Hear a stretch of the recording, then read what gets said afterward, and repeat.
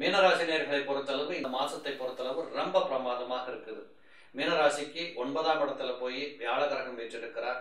ராசிநாதனே ஒன்பதாம் இடத்தில் இருந்து கொண்டு இந்த ராசியை பார்த்து கொண்டிருப்பது என்பது கிட்டத்தட்ட உங்களுடைய பலவீனங்கள் எல்லாம் மறைந்து போகின்ற அளவிற்கு அது உடலாக இருந்தாலும் சரி உள்ளத்தின் மூலமாக இருந்த பலவீனமாக இருந்தாலும் சரி உள்ளமும் உடலும் இணைந்து செயல்பட்டு வெற்றி பெறுகின்ற அளவிற்கு உங்களுடைய ஞானம் என்று சொல்லக்கூடிய மன ஆற்றல் உந்து சக்தியாக உங்களுக்கு பின்பக்கத்திலிருந்து உங்களை தள்ளி கொண்டு செல்லும் கவனித்து செயல்படுங்கள்.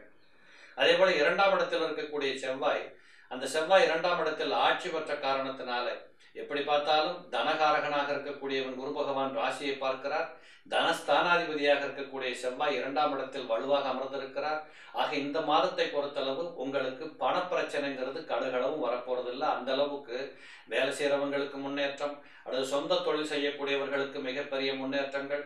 ஆக எப்படி பார்த்தாலும் இந்த மாதத்து செய்திகளிலே பணத்தால் வரக்கூடிய நட்டங்கள் பிரச்சனைகள் கஷ்டங்கள் தரித்திரங்கள் ஒரு பக்கத்திலும் உங்களுக்கு இல்லை என்பதை புரிந்து கொண்டு வேகமாக வெற்றி நடை போடலாம்.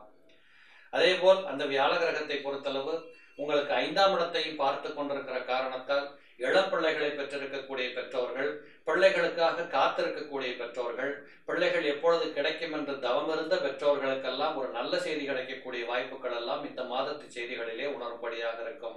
இறைவனை நன்றாக தொழுது வணங்குங்கள். உங்களுக்கு வேண்டியனவெல்லாம் கிடைக்கக்கூடிய ஒரு நல்ல மாதமாக இந்த பிப்ரவரி மாதம் உங்களுக்கு மிகச்சிறப்பாக இருக்கிறது.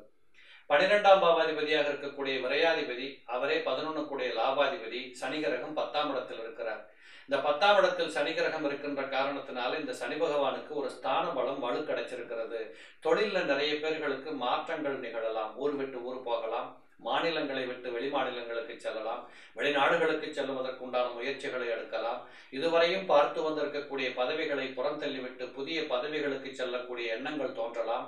இப்படிப்பட்ட அனைத்திலும் நீங்கள் நினைத்தபடி உங்களுக்கு ஏதுவாக நல்ல பலன்களை பெற்றுக்கொள்ளுகிற வாய்ப்புகள் ஏராளமாக இந்த மாதத்து செய்திகளிலே உண்டு. பதினோராம் இடத்துல போய் கேது இருக்கிறார் ராகு பகவான் போய் ஒன்பதில் இருக்கிறார். இந்த ஒன்பதாம் இடத்தில் இருக்கக்கூடிய ராகுவை குரு பார்த்து கொண்டிருப்பது என்பது எல்லா விதத்திற்கும் நன்மை. ஆனால் பதினோராம் இடத்தில் சூரியனோடு சேர்ந்து கேது இருக்கின்ற காரணத்தால் சில குடும்பங்களில் சில பெண்களாக இருக்கிறவர்களுக்கு தோல் வியாதிகள் வருவதற்கும் அலர்ஜி கோளாறுகள் ஏற்படுவதற்கும் தலைபாரம் என்று சொல்லக்கூடிய சைனஸ் ப்ராப்ளம் வருவதற்கும் உண்டான வாய்ப்புகள் இருக்கும். இவைகளெல்லாம் கூட நீங்கள் மருத்துவத்தால் கட்டுப்படுத்திக் கொள்ள முடியும். பெரிய குறைகளாக நினைக்க தேவையில்லை.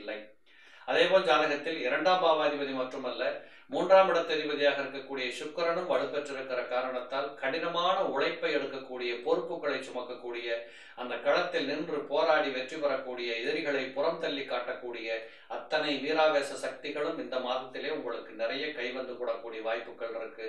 எப்படி பார்த்தாலும் இந்த பிப்ரவரி மாதம் மீனத்தில் பிறந்தவர்களுக்கு மிக இனிய செய்திகளை கொடுக்கக்கூடிய மாதம் என்பதிலே குறைகளே இல்லை.